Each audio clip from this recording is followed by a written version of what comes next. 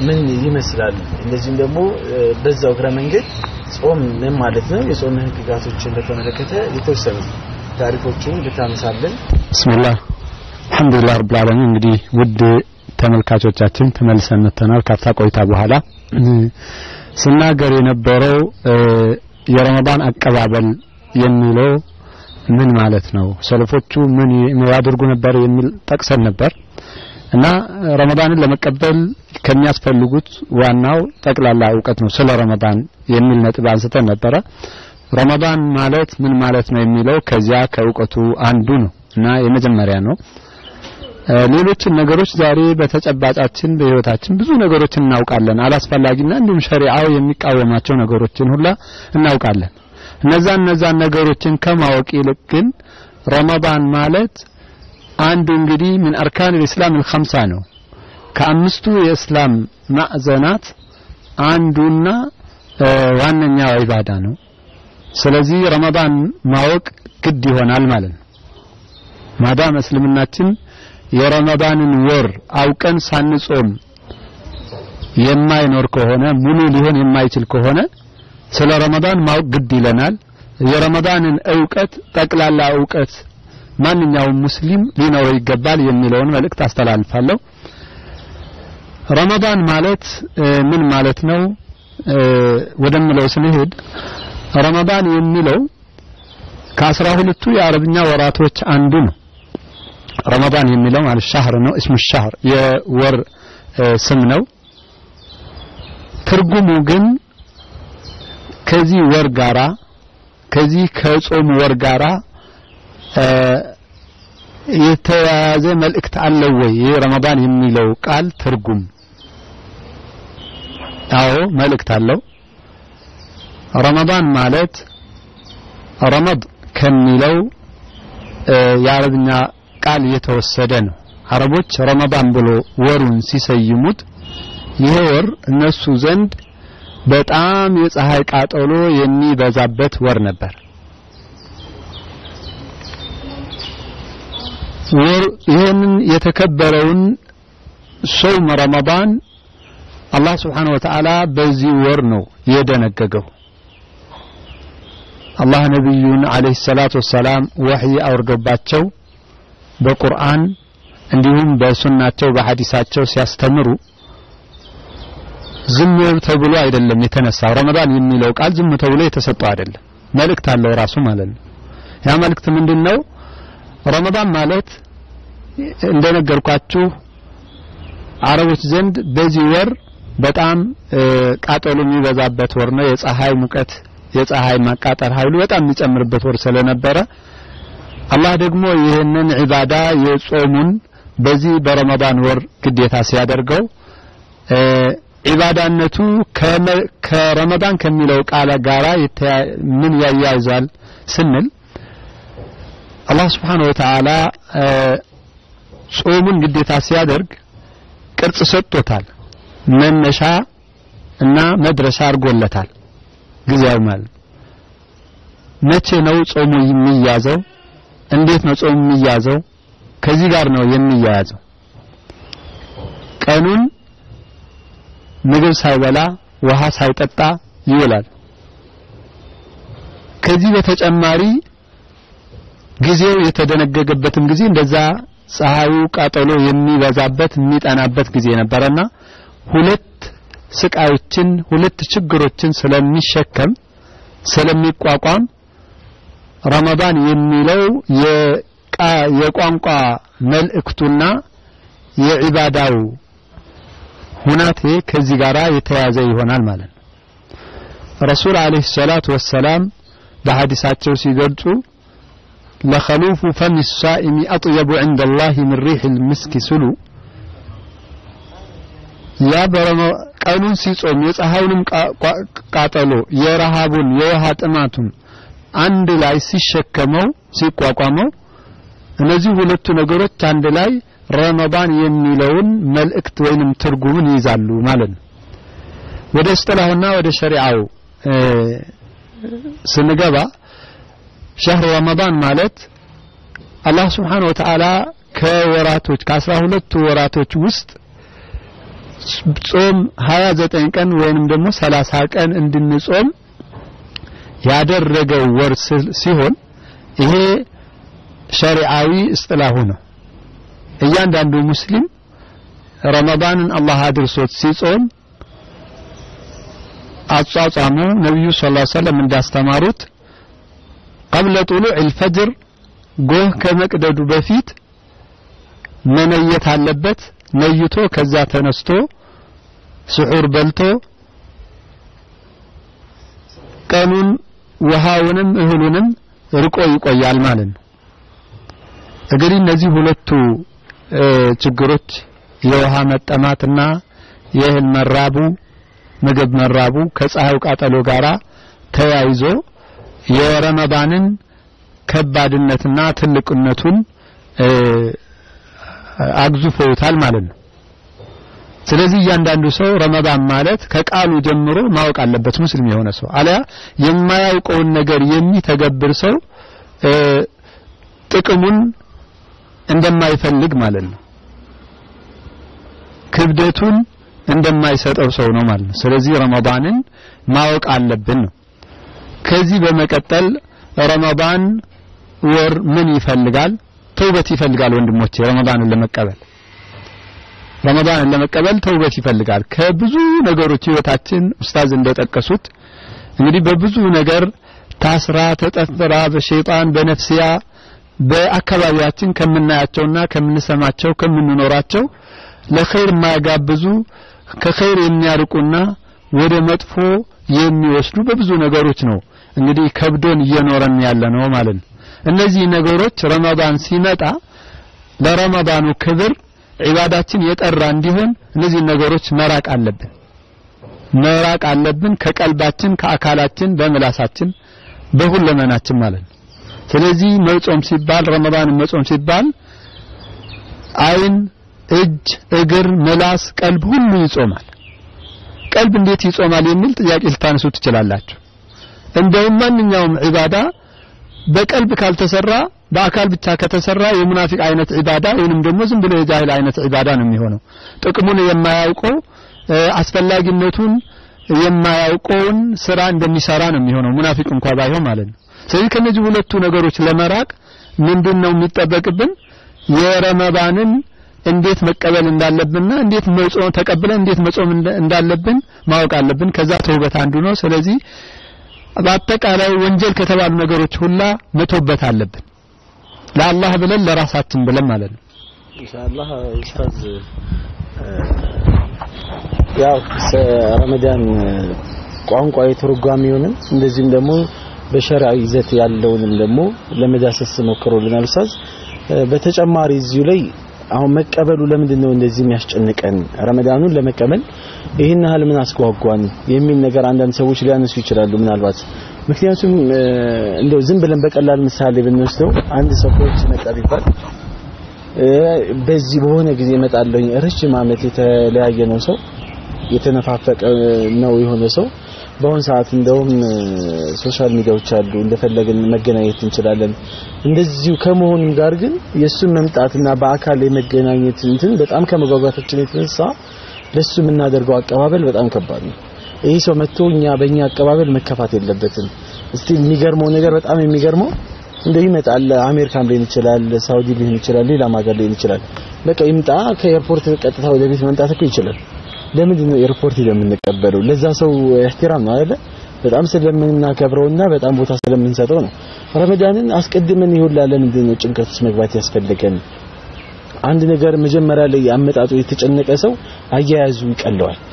ስለዚህ መጀመሪያ ላይ ነብዩ አለይሂ ሰላም በዛው እግረ መንገድ ኡስታዝ ብታነሳልኝ ምንድነው ሚንበር ላይ ሲወጡ ያልተለመደ ነገር በአንድ ወቅት ላይ ያደረጉት ቃለ አሚን አሚን አሚን ከዛ በኋላ ምንድነው ለምን አሚን አልክ ሲሏቸው ነብዩ ሰላም ያነሱት ነገር አለ ረግመ አንፉ ረጁልን መን አድረከ ረመዳን ወለም ይግፈር ለሁ እንደው ረመዳንን ደርሶ ያልተማረ የሆነ ሰው አላህ ያልማረው ሰው ተብሎ የተረገመ ነው። በነቢዩ አለይሂ ሰላም አንደበት አሚን ተብሏል። እንደዚሁም እርግማኑ መጥቷል። እርግማኑ ከአላህ ዘንድ ነው የመጣው። አድራሹ ጅብሪል ነው፣ ተቀባይ ነብዩ አለይሂ ሰላም ናቸው። በጣም ከባድ ነገር ነውና ይሄ ረመዳን መጥቶ እኛ ላይ ምስክር ከሚሆንብን አሁን እንዴት አድርገን አቀባበሉ ማድረግ አለብን የሚለውን ኡስታዝ እሱን ብናየው። ቢስሚላህ ራህማን ራሂም እዚህ ጋር ማከል የምፈልገው ነገር ምንድነው? ይህ እንግዳ ታላቅ ነው። ይህ እንግዳ ክቡር ነው። ይህ እንግዳ ረመዳን ነው። በእውነቱ ከኛ በፊት ስለዚህ እንግዳ አላህ Subhanahu Wa ያደረጋቸው ነገሮች የበለጠኛን ሊነዝሩንና እኛን ለረመዳን ትልቅ ትኩረትና ቦታ እንድንሰጠው ሊያደርጉን ይገባል። አላህ Wa Ta'ala በሰማያዊ ዓለም ላይ በሰማዩ ቀጠና እንዲሁም በምድሩ ቀጠና ለረመዳን ልዩ ክብር በመስጠት ልዩ አይነት ዝግጅቶች ልዩ አይነት መሰናዶች ተደርገዋል። እንግዲህ በዓለም ላይ በዓለማችን ላይ በመንግስትም ደረጃ በማህበረሰብም ደረጃ አንድ ልዩ ፕሮግራም በሚዘጋጅበት ሰዓት ለዛ ልዩ ፕሮግራም የተለያዩ ሽርጉዶች የተለያዩ ቁጭ ብድጎች ይደረጋሉ እና አላህ አላህ Subhanahu ለዚህ ለረመዳን ልዩ ክብር በመስጠት የሰማያቱ ዓለም እንዲከፈት ብቻ ሳይሆን እንዲከፋፈት ነው እንግዲህ ሀዲቱ የሚለው ማለት ነው። የጀሃነም በሮች ይዘጋሉ። ወደ ምድሩም ዓለም ይመጣና በምድር ላይ ማለት ነው የሰውን ዘር ሁሉ በአጠቃላይ በተለያዩ ወንጀሎች እንዲዘፈቁ ምክንያት የሆኑ ቀንደኛ ቀንደኛ የሆኑ ሸይጣኖችም ይታሰራሉ። እንግዲህ አላህ Subhanahu Wa ለዚህ ለረመዳን ልዩ ክብር በመስጠት ያደረጋቸው ያስቀመጣቸው ሽልማቶች ይህ ሁሉ የዝግጅቱ ማሳያ ነው። ስለዚህ ለዚህ ክብር ይሄ ረመዳን ይዞ ተሸክሞ የሚመጣው ጭናቸው የሚመጡ ገጸ በረከቶች አሉ እና እነኚህ ገጸ በረከቶች ላይ ቆም ብለን ስንመለከት የህይወታችን የመለወጥ ጀነትን የምናገኝበት እንግዲህ ሎተሪ ነው። ይህ የረመዳን ብሎ ማለት አዎ የማይመለስ ወርቃማ ህይወትን የምትቀይርበት ሊሆን ይችላል። ጀነትን የምትገዛበት እንግዲህ ሎተሪ ብሎ ማለት በአንድ ብር ወይም በአስር ብር ሚሊዮኖችን ማፈስ ነው። እንግዲህ ረመዳንም በሚገባን ቋንቋ እንደው ልናገረው በማለት ነው እና ትንሽ ነገር ሰርተን ማለት ነው። አዎ ትንሽ ነገር ሰርተ አላህ የሚከፍል ነገር በጣም ብዙ ነው። የሚቆጠር የሚዘለቅ ነገር አይደለም። ስለዚህ ረመዳን ይዟቸው የሚመጡ ገጸ በረከቶች በጣም ሰፊ ናቸው። ሀታ አላህ Subhanahu Wa Ta'ala በረመዳን ወር ዝናብን ያዘንባል። የምን የምህረትን ዝናብ የእዝነትን ዝናብ የትሩፋቱን የበረከቱን ይህንን ዝናብ የሚያዘንብበት ነው። እንግዲህ ጎርፍ ነው። እንደው ጎርፍ ብዙን ጊዜ ይሄ ቃሉ ለአደጋ ጊዜ የምንጠቀምበት ቋንቋ ነው። ግን በአረበኛው ቋንቋ ፈይድ ፈይድ ረህማን የአላህ ስብሓነሁ ወተዓላ እዝነቱ የሚንቧባበትና እዝነቱ በስፋት በጎርፍ እንደ ጎርፍ ማለት የሚያጥለቀልቅበት ወር ነው። እንግዲህ ይሄ ወር ልዩ ወር ነው። በዚህ ይሄን ወር እኛ እንዴት አድርገን እንቀበለው? ለዚህ ወር ሽር ጉድ ማለት አለብን የምንለው በውስጡ ያዘላቸው ጥቅማ ጥቅሞች ይህ ነው ተብለው የሚገለጹና የሚለኩ አይደሉም። ስለዚህ አላህ Subhanahu Wa ራሱ ቅድመ ዝግጅት አድርጓል። ረሱሉም ሰለላሁ ዐለይሂ ልክ እንደዚህ ቅድመ ዝግጅት እንድናደርግ ማህበረሰቡን ሰሃባውን ያነጋገሩበት ቋንቋ በራሱ ምን ያደርጋል? ይነዝራል። እንግዲህ ስለዚህ ይህ ረመዳን የሚባለው ወር እንግዲህ የአላህ Ta'ala የችሮታው ማሳያ የሱ ለጋስነትን ማሳያ አንዱ መድረክ ነው። ስለዚህ ይሄ መድረክ ይሄን መድረክ ማለት የማይናፍቅና የማይጓጓ ማህበረሰብ ችግር አለበት ማለት ነው። ስለዚህ ሌላው ዓለም ላይ ነው ያለው ማለት ነው። አላህ Wa Ta'ala እንደው የሚለው የሚመስለው ማለት ነው አስራ አንዱን ወር ለእናንተ ሰጥቻችሁ ነበር፣ እቺን ወር ለእኔ ስጡኝ። ቢያንስ 12 11 ወር ስትሮጡ የነበራችሁበት ሩጫ እሱን ግቱትና አንድ ወር እስቲ በረመዳን ውስጥ ሩጡ፣ ተሳታፊዎች ሁኑ። ሽልማቶች አሉ፣ የተለያዩ ሜዳሊያዎችን ታገኛላችሁ፣ ታግበሰብሳላችሁ። ስለዚህ ትንፋሻችሁ ረጅም ይሁን። በመጀመሪያው ረመዳን ላይ የሚያበቃላቸው ሰዎች አሉ። ረመዳን በመምጣቱም ደግሞ ያው የተለያዩ በወንጀሎች የታሰሩ ሰዎች ለነሱ ረመዳን መጣልን ሳይሆን መጣብን ብለው የሚያስቡ አካሎችም ይኖራሉ።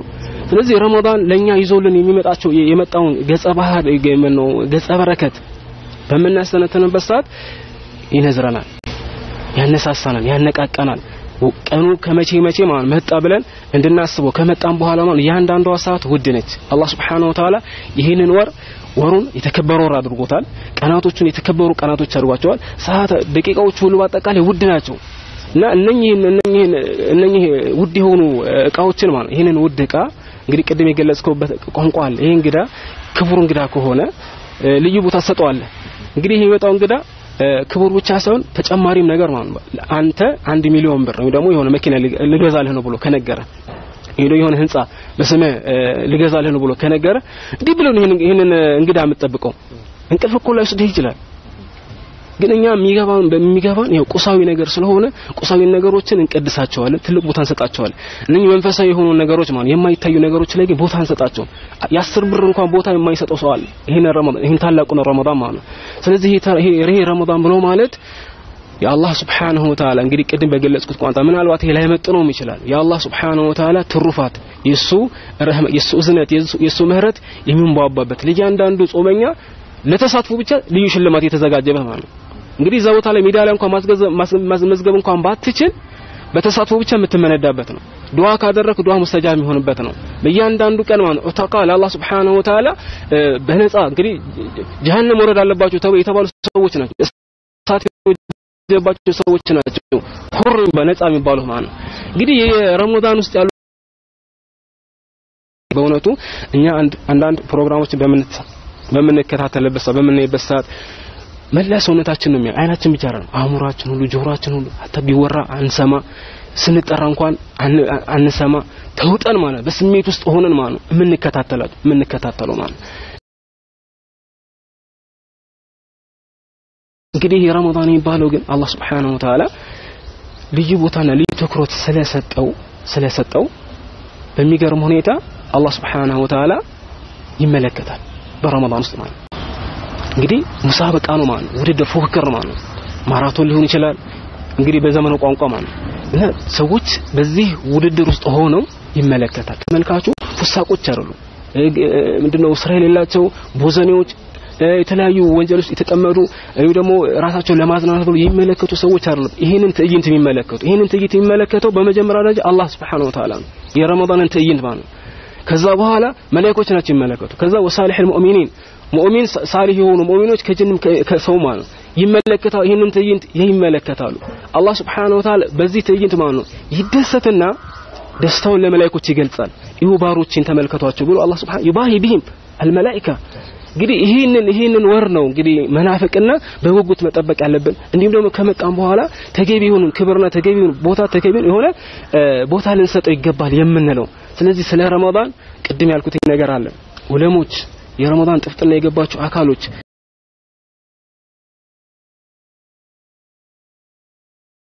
እነሱ ቢናገሩት የበለጠ የበለጠ በሰው በማህበረሰብ ውስጥ ጥሩ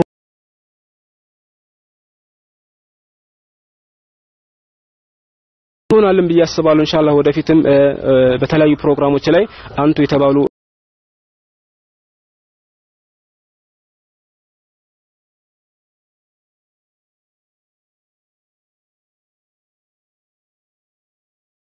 አመት አጅር ማፈስ በአንዲት ሌሊት ማለት ነው። እንግዲህ ህጋዊ የሆነች በቀላሉ መክበር የምትችልበት የሎተሪ ቀን አለች ማለት ነው። እንግዲህ እሷ አላህ ከሚወፈቀው አላህ ያደርጋል በኋላ ትጠቅሳታለህ እሷ ቀን ማናት እስቲ ሁላችሁም የራሳችሁን ጥረት አድርጉ። በጣም ከባድ የሆነች ቀን ኡስታዝ ብዙ ጊዜ በሎተሪ ምሳሌ ያቀርባልና ሎተሪ ደርሶት ነው ወይ እንዳትሉና ሎተሪ በዚህ አጋጣሚ ሐራም መሆኑን እንድታውቁት እንፈልጋለን። ግን ሰው በሚገባው ቁሳዊ በሆነ ነገር ስለሆነ ነው። አላህ በቁርአን ላይ ተናግሯል። ሀል አዱልኩም አላ ቲጃረትን ትንጂኩም ምን አዛቢን አሊም. ከዚህ የበለጠ ነገር የለም። በቲጃራ መልኩ ነው አላህ የገለጸው አይደል? ስለዚህ ያን ነገር በንግድና በእንትን መካከል ከአንገብጋቢ ከሆነው ከጀሃነም እሳት ሊያድናቸው የሚችል ተብሏልና እንደዚህ አይነት መልካም ነገሮች ደግሞ አላህ ለኛ ትልቅ አዛኝነቱን መሀሪነቱን የሚያሳይበት ነው። ምክንያቱም ይሄ ትልቅ ረመዳን በዚህ በረመዳን ውስጥ ደግሞ ለይለተል ቀድር ይባላል ሌላም እንደዚህ ብዙ ነገሮች አሉ። እያንዳንዱ ቀናቶች በረመዳን ላይ ዋጋ አላቸው ቦታ አላቸው። በእኛ ሀያት ላይ የሚፈጥሩት እንትን ከባድ ነው። ከለይለተል ቀድር አንዱን ካገኘን እንግዲህ ያው 80 ምናምን ዓመት ከምንኖረው እድሜ በላይ የምናፍሰው ኸይር ነገር አለ። ያን ነገር ለማግኘት በዚህ በረመዳን ነው የምናገኘው። ስለዚህ ልንጓጓ ይገባል።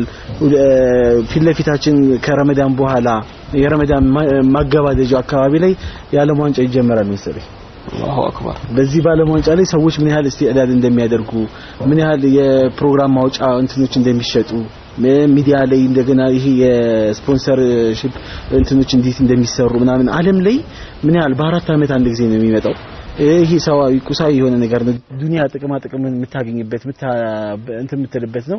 እዚህ ደግሞ ያለን ሰዎች ደግሞ ስለማናቃቸው ሰዎች የምንጨነቅበት የምንጋደልበት ስለሆነ ኳስ ነውና ያንን ሰዎች ምን ያህል እንደሚጓጉ ምን ያህል እንደሚናፍቁት ይታወቃል።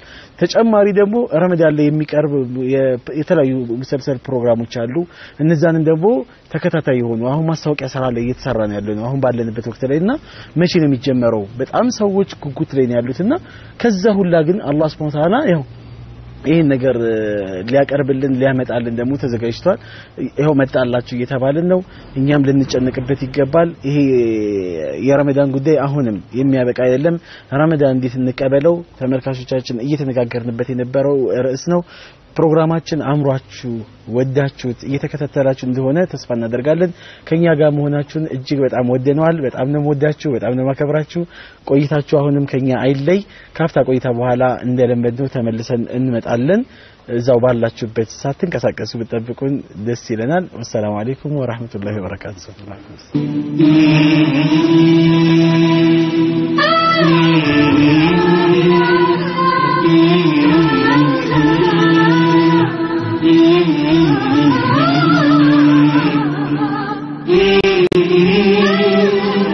አንጋፋውና ታዋቂው መግፊራ ስጋ ቤትና ሬስቶራንት የበሬ፣ የግመል፣ የበግ ስጋ እንዲሁም ዶሮና አሳ በሁሉም ቅርንጫፎቻችን በተመጣጣኝ ዋጋ እንሸጣለን። ሙሉ በግ ለሚወስዱ በኪሎ 115 ብር ቫትን ጨምሮ እንሸጣለን። በተለይ በአዳማና በግራር በሚገኙት ሬስቶራንቶቻችን ደረጃቸውን የጠበቁ በአይነታቸው የተለያዩ ምግቦችን ያገኛሉ። በቂ የእንግዳ ማረፊያና የሰላት መስገጃ ቦታ አለን። እንዲሁም በቂ የመኪና ማቆሚያ ስፍራ አለን።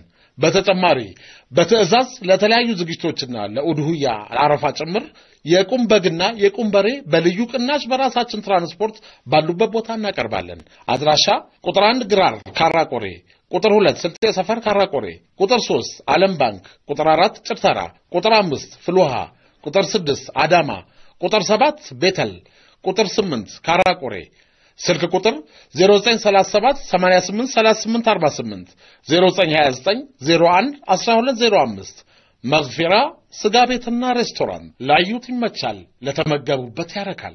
ሀላ የሰሊጥ ሀላዋ ጽህኒያ በሀገራችን ለመጀመሪያ ጊዜ ተመርቶ ለእርሶና ወዳጅ ዘመዶ ልዩ የረመዳን ስጦታ ሆኖ ቀረበ። በሀገር ምርት በሀገር ልጅ የተመረተ ድንቅ ኢትዮጵያዊ ጣዕም ሀላ የሰሊጥ ሀላዋ። ሰሊጥ በካልሽየም በፕሮቲንና ፋይበር ንጥረ ነገር የበለጸገ በመሆኑ ለልጆች ለአዋቂዎች፣ በተለይ ለስፖርተኞች ጾታና እድሜ ሳይለይ ይጠቀሙበታል፣ ይወዱታል፣ በልዩነቱ ይመርጡታል። ድገሙኝ ደጋግሙኝ ያሰኛል። የሰሊጥ ቅቤያችን መቶ ፐርሰንት ከንጹህ ነጭ ሰሊጥ የተመረተ በመሆኑ ለጤናው እጅግ ተስማሚ ነው። በየሱቁና በየሱፐር ማርኬቱ ያገኙታል። ሀላ የሰሊጥ ሀላዋ በቫኒላ በካካዋ በተለያየ መጠንና ጣዕም ተውቦ ቀረበ። አድራሻ መርካቶ ጎማ ተራ ያገኙናል። አምራችና አከፋፋይ ናይል ፉድስ ፒኤልሲ። በተፈጥሯዊ ምርት ጤንነትዎን ይጠብቁ። ሀላ ሀላ የሰሊጥ ጽህንያ ረመዳን ሙባረክ። رمضان يا رمضان رمضان رمضان أهلا بك رمضان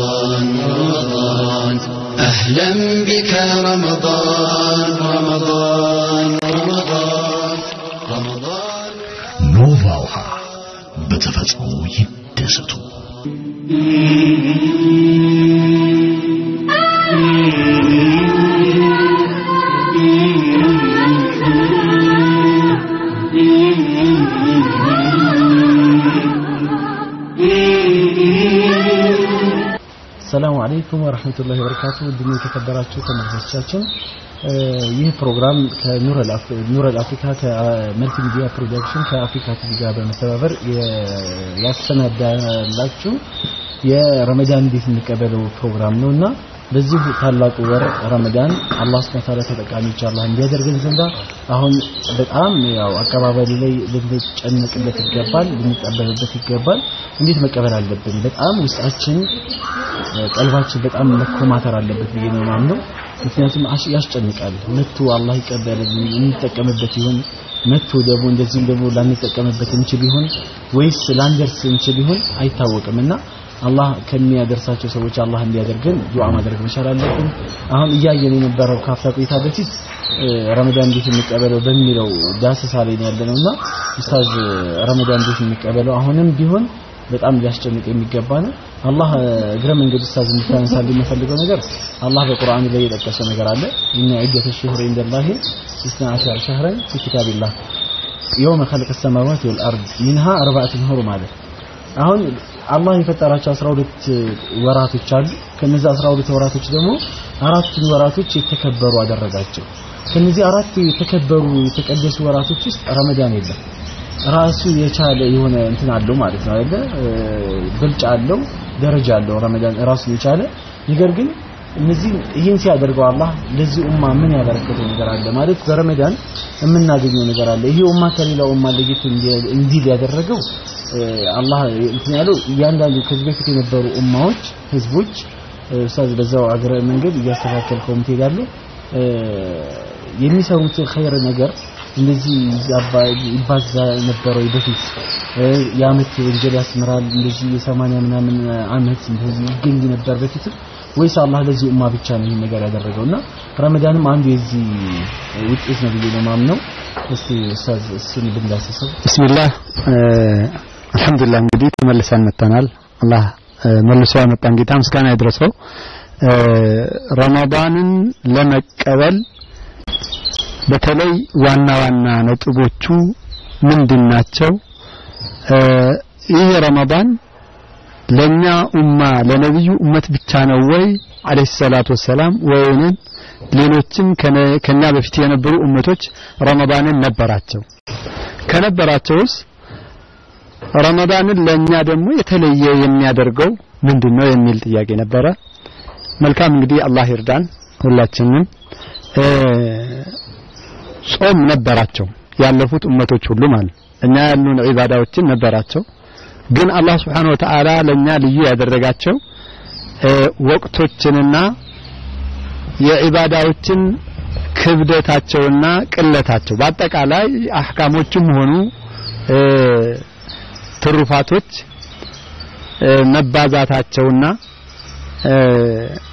መጠናቸው ላይ ነው አላህ Subhanahu Wa Ta'ala የለየን እኛን ማለት ነው ረመዳን ራሱ የተለየ ነው ለኛ በመሰጠቱ ማለት ነው ለበፊቶቹ በዚህ መልኩ አልነበረም እጅግ የከበደ ነበረ ለምሳሌ አላህ Subhanahu Wa Ta'ala في سورة البقرة آخر سورة البقرة ላይ ይጠቅሳል ይሄን ነገር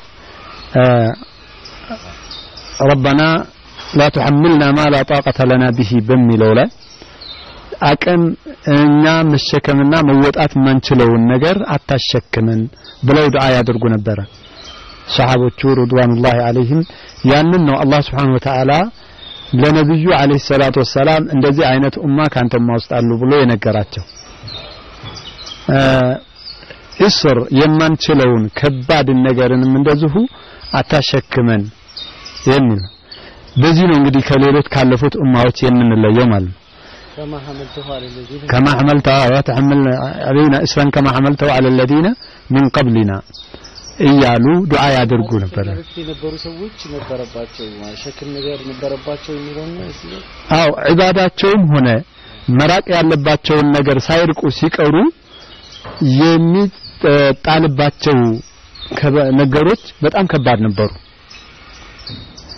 እና ከዚህ አኳያ ያ ረቢ እንደዛ አታድርገን ብለው ዱዓ ሲያደርጉ ይሄንን አላህ Subhanahu Wa Ta'ala መድህ አድርጎ ለነብዩ ሰለላሁ ዐለይሂ ነገራቸው። ወደ ረመዳን ስንመጣ ረመዳን እንደ ነብዩ ኡማ ለኛ ጾሙ በሱ ውስጥ እንድንጾም ሲደነገግልን እንዴት ነው የሚለው ስናይ ቅርጡ ይለያያል ክብደቱ ይለያያል አጅሩ ግን አላህ Subhanahu Wa እኛን በፈድሉ በቸርነቱ የበለጠ አደረገ። ይሄ ለደካማነታችን ነው። የድሮዎቹ ጠንካራ ነበሩ። ረመዳን ብቻ አይደለም ብዙ በርካታ ነገሮች አሉ። አሁን ግን ስለ ረመዳን አቀባበል ስለሆነ እያወራን ያለ ነው በረመዳን ብቻ እናሳጥረዋለን። ረመዳኑ ያው የነሱ ላይ ያለው ጫና የበዛ ቢሆንም እንደኛ ባይሆንም የበዛ ቢሆን የነሱ ግን ጾም እነሱ ነበረባቸው። እና ኡስታዝ ያው ረመዳን በእኛ ብቻ አይደለም የወጀበው በዚህ እምነት ብቻ ሳይሆን ከዚህ በፊት በነበሩ ህዝቦችም ላይ ግዴታ ነበረ። ይህንንም አሁን ላይ የጠቀሰው ነገር አለና እስቲ እሱን ኡስታዝ። ናም ረመዳን በእኛ ብቻ ላይ አይደለም የወጀበው ባለፉት እመቶችም ላይ ወጅቧል፣ ግዴታ ተደርጓል። የእኛን ለየት የሚያደርገው ምንድነው የሚለው ላይ ነበረ እያወሳን የነበረው። አላህ በቁርአን ሲናገር የቁል ያ አዩሃ አለዚነ አመኑ ኩቲበ ዓለይኩም ሲያሙ ከማ ኩቲበ ዓለ አለዚነ ሚን ቀብሊኩም ለዓለኩም ተተቁን ይላል። እናንተ ያመናችሁ ህዝቦች ሆይ፣ ኡመቶች ሆይ ይላል ኩቲባ ግዴታ ተደርጓል ተጽፎባቸዋል ማንም የማይሽረው በሆነ መልኩ ማንም የማይሰርዘው በሆነ መልኩ ማለት ነው ኩቲባ የሚለው ፉሪዳ ወይንም ወጀበ ከሚለውም በላይ ነው መልእክቱ ማለት ነው የዚህ ቃል ስለዚህ ረመዳን በእኛ ላይ ብቻ ግዴታ እንዳልሆነና በበፊቶቹም ላይ ግዴታ እንደነበረ ነው ይሄ የቁርአን አንቀጽ የሚገልጸው طيب ይሄ ከሆነ ረመዳን በበፊቶቹ ላይ ግዴታ ተደርጓል።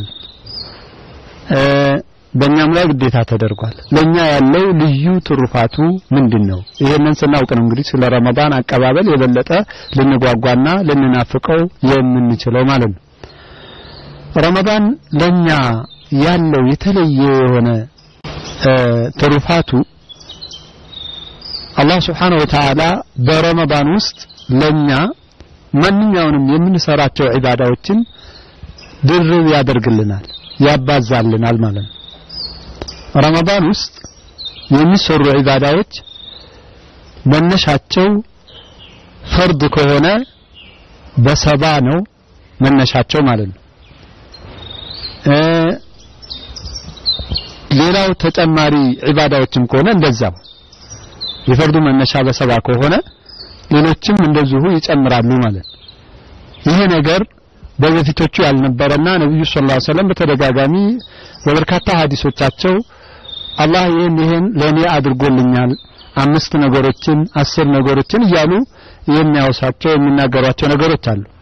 ረመዳንም ከዛ ውስጥ አንዱ ነው። እንደውም የረመዳን ዒባዳ መነሻው በፈርድ ከሆነ ማንኛውም ዒባዳ ከጾም ውጪ ራሱ ማለት ነው በሰባ ነው የሚባዛው ስለዚህ ይሄንን አይነት ብዙ ትርፍ አለው ረመዳን ማለት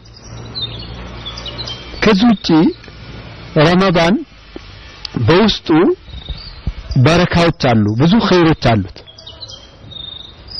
في الحياة الدنيوية والأخروية በዚህ ዓለማዊ ህይወትህ ጉዳይ በጤንነትህ በአኺራ ጉዳይ በዒባዳ ጉዳይ እንደጠቀስ ነው ማለት በተለይ በጣም ለየት ከሚያደርገው ከድሮቹ ኡማ ጋራ እኛን የሚለየን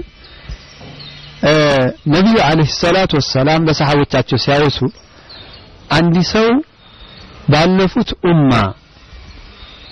ምንም እረፍት ሳያደርግ ዒባዳ ብቻ ላይ ሰማንያ ምናምን ሰማንያ ሶስት አመት ሰማንያ አመት ከምናምን ወራት ዒባዳ ሲያደርግ የነበረ ሰው እንደነበረ ወህይ ሲመጣላቸው የኔ እመት እድሜያቸው ራሱ ከዛ የማይደርስ ነው፣ ሰማንያ ዓመት ራሱ አይሞላ ብሎ ነብዩ አለይሂ ሰላቱ ሰላም በጣም ተሰማቸው። እመታቸው ይህንን ደረጃ እንዴት ይደርሳል ብሎ ጓጉ በጣም። አላህ ስብሓነሁ ወተዓላ መቼም ነቢዩን ሲልካቸው ዓለይሂ ሰላቱ ወሰላም ለቀድ ጃአኩም ረሱሉን ሚን አንፉሲኩም ዐዚዙን ዐለይሂ ማ ዐኒቱም ሐሪሱን ዐለይኩም ቢልሙእሚኒነ ረኡፉን ረሒም አላቸው አላህ። በእርግጥ መጥቶላችኋል።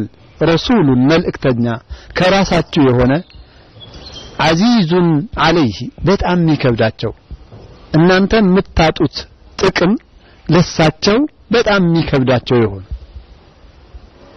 ሐሪሱን አለይኩም የሚጓጉላችሁ ለእናንተ እናንተን ችግር ውስጥ የሚከታችሁ ነገር ደግሞ በጣም የሚያስጨንቃቸው የሆነ ነብይ ወጥቶላችኋል ባህሪያቸው ለኛ አላህ መርጦ እሳቸውን ሲልካቸው ይሄ ስለነበረ ልክ ይሄ ነገር ያለፈው ኡመት ውስጥ የነበረ አንድ ሰው ሰማንያ ምናምን አመት ከምናምን ወር እንደዚህ ዒባዳ ሲያደርግ የነበረ ሰው ተብሎ ሲነገራቸው ወደ ኡመታቸው ወሰዱ። ረሱል አለይሂ ሰላቱ ወሰላም ሐቃቸው መቼም በእኛ ላይ እጅግ በጣም ከባድ ነው ከራሳችን በላይና ከዛ አላህ ስብሓን ወተዓላ ይህን ጭቀታቸውን ያየ ጊዜ አንዲት ሌሊት አመጣ። ምን አላት ኸይሩ ምን አልፍ ሻህር የሆነችው ማለት ከአንድ ሺህ ወር ዒባዳ የምትበልጥ የሆነች ይላል። ይሄ ለእኛ ኡመት ልዩ ትሩፋት እንዲኖረው ረመዳንን ካደረጉት ዋና ነጥብ አንዱ ይሄ ነው። ስለዚህ ይህንን ካወቅን ረመዳን ለኛ ትልቅ የሆነ ትሩፋት አለው የሚለውን ነገር ካወቅን ውስጣችን ከገባ ቀልባችን ውስጥ ከገባ ስለ ረመዳን እንጓጓለን፣ እንዴት እንቀበላለን ብለን መጓጓት እንችላለን ማለት አንተ የጀነት ነው እገሌ የጀነት ነው ብሎ ሲሉት ያንን ሰው ይከታተሉ ነበር። በጣም ሶስት ቀን ያንን ሰው በመከታተል ከቤታቸው ይለዩ ነበር። እንዴት አድርጌ ያችን ነገር እኔ ያገኛታለሁ በሚል ጉጉት ማለት ነው። ስለዚህ የኛም ለረመዳን ያለን ጉጉት ለአቀባበሉ ናፍቆታችን ሰሃቦችን መምሰል አለበት። እንኳንስ አይደለም ለረመዳን አንዲት ነገር አንዲት ትንሽ ዒባዳ ከረመዳን ያነሰቿ ፈዲላ የምታስገኝ ከሆነች እሷን ነገር እኔም ሰርቼ ማግኘት አለብኝ ሰውየው ያገኘውን ነገር በሚል ረጃ ያን ነገር ለማወቅ ይከታተላሉ። ሌላ ጊዜ ነብዩን ይጠይቃሉ አለይሂ ሰላቱ ሰላም። ከዛ ውጭ ደግሞ ያ ሰው ይሰራ የነበረው ነገር ምንድነው ብሎ ይከታተሉ ነበር እና የሰለፎቹ ሁኔታ ለኸይር ስራ ጉጉታቸው፣ ናፍቆታቸው፣ ፍላጎታቸው ይህንን ነበረ ማለት ነው። እንግዲህ ረመዳንን በጣም ማወቅ ይጠበቅብናል ወንድሞቼ ለመቀበል ማለት ነው። ጉጉቱም እንዲኖረን ፍላጎቱም ፍቅሩም እንዲኖረን ክብደቱንም እንድናውቀው ስለ ረመዳን አጠቃላይ በጣም ማወቅ ይጠበቅብናል። እንግዲህ ረመዳን ለኛ ከሚለዩት ነገሮች ለነብዩ ኡመት አንዱና ዋነኛው ይሄ ነው። ኢንሻአላህ ኡስታዝ ያው በሰፊው ለመዳሰስ ሞክሯል። ረመዳን ያው ጾሙ ነብዩ አለይሂ ሰላም ይሄ ጾም በሳቸው ለግዴታ ከመሆኑ በፊት ረመዳን በግዴታነት ከመጾማቸው በፊት ያው ከሂጅራ በሁለተኛው አመት ላይ አላህ Subhanahu Ta'ala ግዴታ እንዳደረገባቸው ከዛ በፊት የሙሐረም ወር ወይም በሂጅራ የመጀመሪያው ወር ተብሎ የሚጠራውን እና ያን ወር እንድንጾመው ነበረ የምንገደድ የሚገደድ የነበረው ከዛ በኋላ ነው። አሹራን ቀን አሹራን ቀን ማለት ነው። ያ አሹራ ቀን አሁን እንጾመዋለን፣ በጾም እናሳልፈዋለን፣ በሌላ ዒባዳ መልኩ ማለት ነው፣ በግዴታ መልኩ ሳይሆን እና ይሄኛው ወደዚህ መቀየሩና ረመዳን ተደርጎ መያያዙ ሰለፎቻችን አሽረፈል ኸልቅን ጨምሮ እጅግ በጣም ጉጉታቸው በጣም ከባድ ነበረ። እንደኛ ልክ ሲመጣ አይደለም፣ በሌላ መንገድ አይደለም፣ ሾርባ በማዘጋጀት ለሳምቡሳ በመጨነቅ ለሌላ ለሸህሩ ጣዕም ይመስል ለዛ በመጨናነቅ ነው ሰው ረመዳን ለመቀበል የሚጓጓውና የኛና የነሱ ልዩነታችን ይሄ ነው። አላህ እነሱን ረዲየላሁ ዐንሁም ወረዱ ዐንሁ ያላቸውበት ምክንያቱ ምንድነው ከተባለ ያን ነገር ተጥቢቃቸው ነው፣ ወደ ተግባር መለወጣቸው ነው። እኛ እንሰማዋለን፣ ሁልጊዜ ያስጨንቀናል። እውነት በዚህ በረመዳን ጉዳይ ላይ ተጨንቀናል ወይ? ምን ያህል ልባችንስ ተነሳስቷል? ምን ይላሉ? ምንድነው ዚክሩል ጀና ኢለም ይሸውቁል ቁሉብ ፈማዛ ይሸውቁሃ ይላሉ። ስለ ጀነት ሲነሳ ልብ መነሳሳት ካልቻለ ምንድነው ሊያነሳሳ የሚችለው? እንደዚህም ደግሞ ዚክሩን ናር ኢለም ይኸውፍ ምንድነው ይኸውፉል ቁሉብ ይሄ አሁን ስለ ጀሃነም ሲነሳ ልብ የማይፈራ ከሆነ የማይደነግጥ ከሆነ ምንድነው ሊያስነሳው ሊያስደነግጠው የሚችለው ይባላል። ቅድም ያነሳነው ነገር አለ። ያን ነገር አንጻራዊ በማድረግ ረመዳን ሲነሳ ልባችን ካልተነሳሳ ውስጣችን ልባችን ላይ ችግር አለ ማለት ነው። በጣም ውስጣችንን ማከም ይኖርብናል ማለት ነው። ውድና የተከበራችሁ ተመልካቾቻችን ለዛሬ የነበረው ፕሮግራማችን ይህን ይመስላል። በሚቀጥለው ፕሮግራማችን ኢንሻአላህ ረመዳንን ከምንቀበልባቸው መንገዶች መካከል አንዱና ዋናው ያው ተውበት ነውና ያን ተውበት ለማድረግ እንሞክራለን። ተውበትም አለ። ከዛ በኋላ ደግሞ ይሄ ኸሳኢሶ ረመዳን ረመዳንን ለየት የሚያደርጋቸው ነጥቦች አሉ።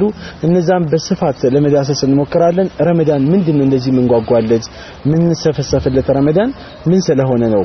ውስጡ ምን አዝሎ ነው የመጣው?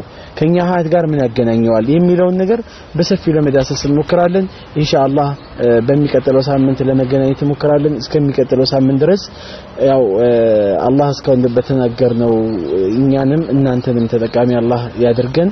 የሚቀጥለው ሳምንት እስከምንገናኝ ድረስ ወሰላሙ አለይኩም ወራህመቱላሂ ወበረካቱ። በመልካም ዱዓችሁ እንዳትረሱን አደራችሁን እያልኩኝ ንግግሬን በዚህ ያበቃል። አንጋፋውና ታዋቂው መግፊራ ስጋ ቤትና ሬስቶራንት የበሬ፣ የግመል፣ የበግ ስጋ እንዲሁም ዶሮና አሳ በሁሉም ቅርንጫፎቻችን በተመጣጣኝ ዋጋ እንሸጣለን። ሙሉ በግ ለሚወስዱ በኪሎ 115 ብር ቫትን ጨምሮ እንሸጣለን። በተለይ በአዳማና በግራር በሚገኙት ሬስቶራንቶቻችን ደረጃቸውን የጠበቁ በአይነታቸው የተለያዩ ምግቦችን ያገኛሉ። በቂ የእንግዳ ማረፊያና የሰላት መስገጃ ቦታ አለን። እንዲሁም በቂ የመኪና ማቆሚያ ስፍራ አለን። በተጨማሪ በትዕዛዝ ለተለያዩ ዝግጅቶችና ለኡድሁያ አረፋ ጭምር የቁም በግና የቁም በሬ በልዩ ቅናሽ በራሳችን ትራንስፖርት ባሉበት ቦታ እናቀርባለን። አድራሻ ቁጥር አንድ ግራር ካራቆሬ፣ ቁጥር ሁለት ስልጤ ሰፈር ካራቆሬ፣ ቁጥር ሶስት ዓለም ባንክ፣ ቁጥር አራት ጭርተራ፣ ቁጥር አምስት ፍልውሃ፣ ቁጥር ስድስት አዳማ፣ ቁጥር ሰባት ቤተል፣ ቁጥር ስምንት ካራቆሬ ስልክ ቁጥር 0937 88 38 48 0929 01 1205 መግፊራ ስጋ ቤትና ሬስቶራንት። ላዩት ይመቻል፣ ለተመገቡበት ያረካል።